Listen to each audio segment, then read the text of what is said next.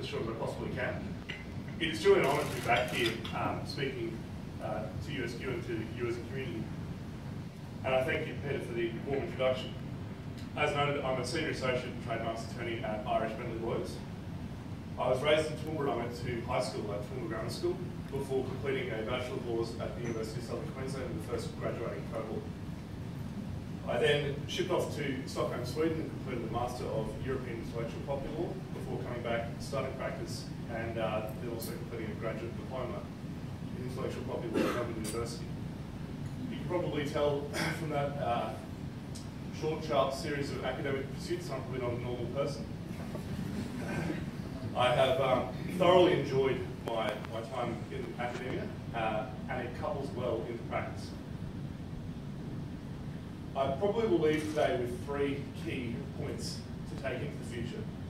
But before I get to the legal forecast, the starting point, and as enunciated with respect to lots of study, is a passion for law.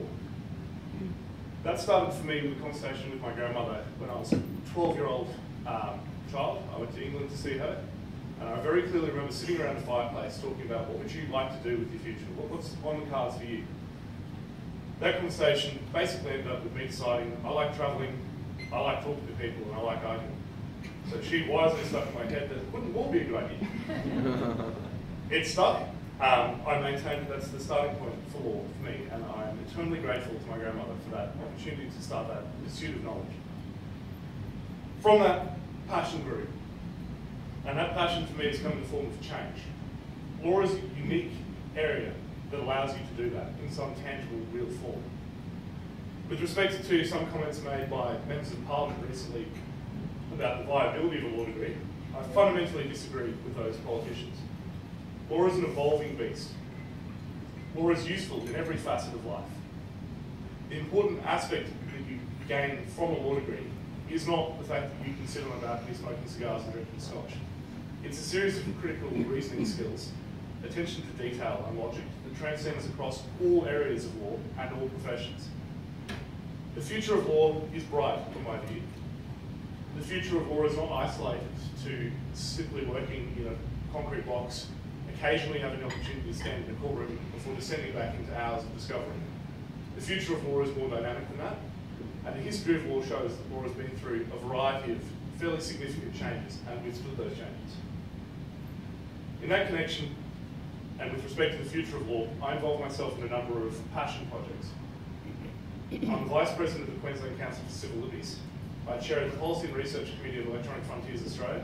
I'm a professional member of Australian Lawyers for Human Rights. And in 2015, I co-founded with a number of uh, early career professionals and law students an organisation called the Legal Forecast. The Legal Forecast is probably what's relevant for me to talk about in this brief moment this morning.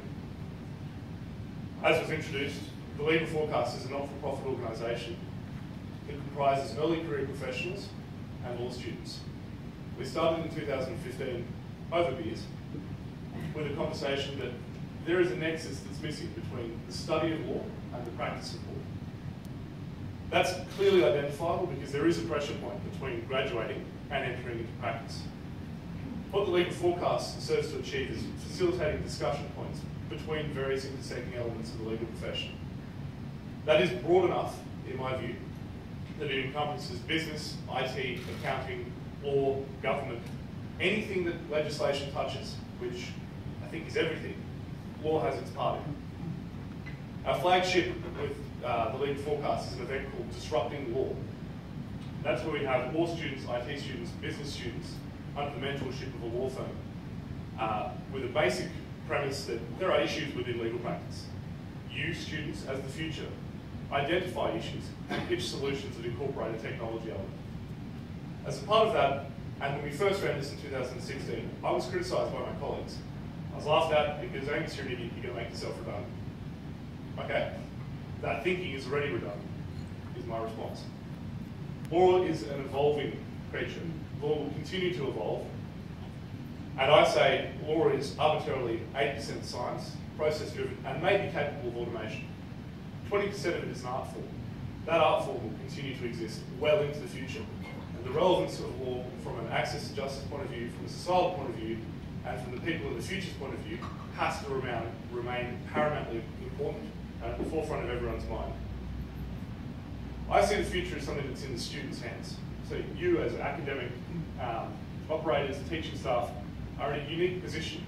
You have the opportunity to allow students to enter into a profession without blinkers on, without preconceived notions of what law is, and with the view that there is a positive future for law.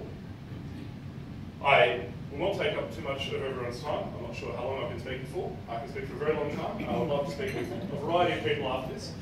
Um, the legal forecast pitch event's coming up. Uh, we'll have a hackathon with the Department of Justice and Attorney General between 18 May and 20 May this year on neighbourhood disputes. We've just run a global legal hackathon in Sydney, New South Wales. We'll be running our flagship Disrupting Law event from the 3rd to the 5th of August this year, and an Access to Justice event in October this year. And if anyone's in Western Australia, I'm from Western Australia, but I don't expect many people to take that small flight back over frequently. Uh, in September, there'll be a, a, further Access to Justice hackathon. The website is thelegalforecast.com, and I encourage everyone to have a look at that and have a chat with me afterwards. Thank you for your time.